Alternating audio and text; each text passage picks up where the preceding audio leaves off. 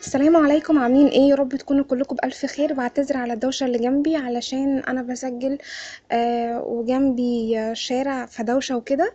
آه هتكلم النهاردة إن شاء الله عن زيت جوز الهند آه الأنواع اللي أنا جربتها والحاجات اللي أنا حبيتها ومشيت معايا أو مشيت مع شعري والحاجات اللي أنا حسيت إنه لأ مش حلوة ومش هت يعني خلت شعري تعبان أوكي؟ أول حاجة هتكلم عنها هو أشهر نوع زيت موجود هنا زيت جوز الهند هو زيت جوز الهند من امتنان. في الفترة الأخيرة ظهر زيت جوز الهند حجمه 500 ملي وكان سعره 85 جنيه والناس كلها راحت اشتريته وكان سعره ممتاز. وناس كتير اتكلمت عنه قالت إن هو كويس جدا وأصلي وكل حاجة. من مميزات جوز الهند إن هو بيتجمد في الشتاء وفي الصيف بيبقى سايح فده تعرفي إن هو أصلي. إحنا مشكلتنا هنا في مصر إن إحنا معظم ال- الزيوت اللي عندنا مش أصلية. يعني م... يعني متضاف لها حاجات تانية. الحاجات التانية دي إحنا ما نعرفش هي إيه ممكن تكون مفيدة وممكن تكون ضارة. الله أعلم. فدايما بندور على الحاجة الأصلي. فلما لقينا امتنان بما إنها شركة دلوقتي معروفة ومنزلة زيت الجوز الهند ده فإحنا جبناه. آه أنا تجربتي معاه أنا شايفة إن الزيت ده مش أصلي. آه، أنا واحدة من الناس آه، لما بجرب حاجة من كتر ما أنا بجرب حاجات كتير فلو جربت حاجة وطلعت إن هي مش حلوة آه، بعرف الجودة بتاعتها. بعرف إن الجودة بتاعتها أقل مش مش عالية. ودي ميزة إن حد يكون بيجرب كتير. آه، زيت آه، جزر هند من امتنان مش أصلي مش أصلي مية في المية. هو هو متضاف له إضافات. أنا ما أعرفش الإضافات دي هي إيه ولكن هو مش نقي مية في المية زي ما هم كاتبين. طبعا هم كاتبين عليه إن هو ينفع للأكل وإن هو بيور مية في المية. أنا مش متأكدة من الموضوع ده. أنا مش عارفة هو متضاف له زيت البرافين ولا لأ. زيت البرافين أو البرافين أنا مش عارفة بيتنطق إزاي ولكن آه الزيت ده أصلا المفروض إن هو مستخلص من البترول فده حاجة مش حلوة يعني مضر. أنا ما أعرفش هو فعلا في الزيت ده ولا لأ علشان ما بقاش أنا قلت كلام مش صح. ولكن معظم الزيوت الموجودة في مصر المضروبة متضاف عليها زيت البرافين ده. تمام؟ أنا لما جربته ما حسيتش إن هو عطاني زي بقى ما بنسمع إن هو بيور وحلو قوي وهيغير الشعر. لأ ما حسيتش بكده خالص. النوع التاني اللي أنا جربته و... وعجبني آه بصوا آه أنا مش من الناس اللي بتطلع علشان يجيلها هدايا. آه بقول إن ده حلو. أنا مش كده. ولا أنتوا كلكم ولا العالم كله هيسوى إن أنا آخد ذنب على حاجة أو أشيل ذنب حاجة. آه زي كده. دي حاجة تافهة جدا. أنا لو جالي هدية حاجة واحدة أنا بشتري فوقيها 100 حاجة.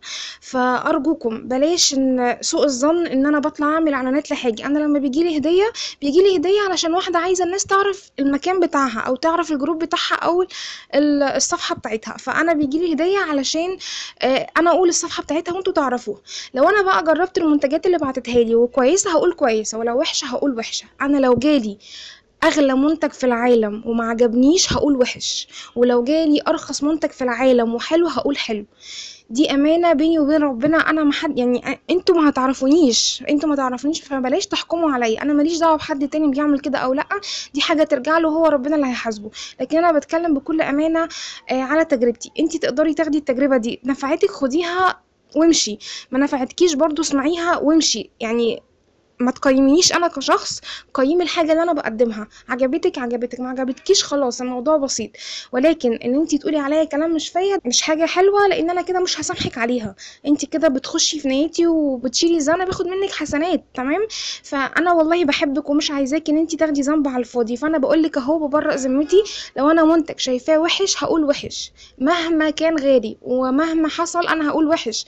أنا مش بيهمني حاجة ومش بيهمني حد والوقت كفيل إن هو يثبت لكل إنسان الإنسان الكويس من الإنسان الوحش والإنسان الصادق من الإنسان الكذاب. زيت جوز الهند التاني اللي هتكلم فيه آه، هو من آه، شركة ام بي سي ده كان جاي لي هدية. الزيت ده لما أنا جربته عجبني جدا. كنت وقتها كنت بستخدم بس امتنان فلما جربت ده حسيت بالفرق. أنا ما أعرفش هو برضو بيور مية في المية ولا لأ أو عليه إضافات ولا لأ ولكن في فرق شاسع بينه وبين آه، امتنان حسيت إن هو أفضل منه. فعلا أحسن من التاني.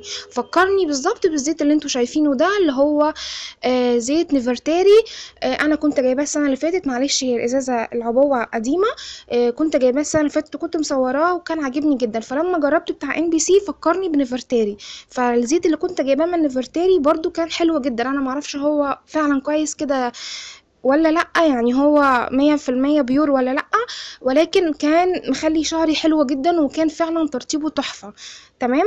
آه في فيديو جاي بعد ده. كنت قصه شعري ففي شعر كتير أنا هوريك نوعيه شعري علشان أنا مش بظهر ففي حاجات كتير مش عارفة أعملها. إن شاء الله الفيديو الجاي مهم برضه هتكلم فيه في نقطة تانية. تمام؟ ده تالت منتج أنا جربته اللي هو نيفرتاري آه وفي اي NBC أنا دول أنصحكم بيهم إن أنتوا تجيبوهم. أنا أظن إن هم pure ممكن يكون عليهم إضافات بس معرفش أكيد إضافات كويسة مش إضافات وحشة يعني لأن هو الاتنين أنا حاساهم شبه بعض. في كمان الزيت ده أنا جبته آه، ده زيت كنت جايباه كنت طالباه من أمريكا الزيت ده المفروض إن هو مية في المية أصلي طبعا أنا لسه ما جربتوش ولكن ده من الأنواع الكويسة اللي تقدري تجيبيها من بره آه، طبعا أنا عارفة إن في ناس كتير ما تقدرش تجيب من بره ولكن أنا هقول لك برضو الأنواع للناس اللي تقدر تجيب من بره والناس اللي ما تقدرش تجيب آه، من بره تقدري تجيبي زيت بقى من NBC من نيفرتاري آه، في كمان صفحة اسمها EG Pure إن شاء الله. أنا زي ما وعدتكم إن أنا هجيب زيوت NOW وأجربها وأقول لكم وأقول لكم الفرق بينها وبين الزيوت في مصر. آه، برضو إن شاء الله هجيب من EG Pure وهقول لكم الزيوت بتاعتها زي الزيوت التانية و NOW وكده ولا لأ؟ بإذن الله. دي زيوت آه، زيت جوز الهند اللي أصلي مية في المية وتقدري تطلبي أي واحد فيهم أونلاين بقى يعني من أي حد تطلبيه آه، في أمازون وفي drugstore آه، تقدري تطلبي منهم. آه، ده كده كان الفيديو وأنا مش بذم في منتج ومش بحس رأيي في منتج. أنا بقول دي تجربتي معاهم. أنا اللي نفع مع شعري واللي حسيت إن هو يستاهل كان نيفرتاري وكان NBC ولسه هجرب زيوت تانية برضو هقول لكم ولكن زيت امتنان أنا ما بنصحش بيه خالص لأن أنا شعري أصلا من النوع اللي يعني لو إيه لو حاجة مش مش كويسة بس بنسبة خمسة في المية بيبان عليه. عشان كده دايما بعرف أحكم على منتجات الشعر كويس جدا. إيه بس كده ده كان رأيي الشخصي وأتمنى يكون الفيديو فاتكم وأسفة على الإطالة واشوفك على خير إن شاء الله في فيديو جديد. مع السلامة.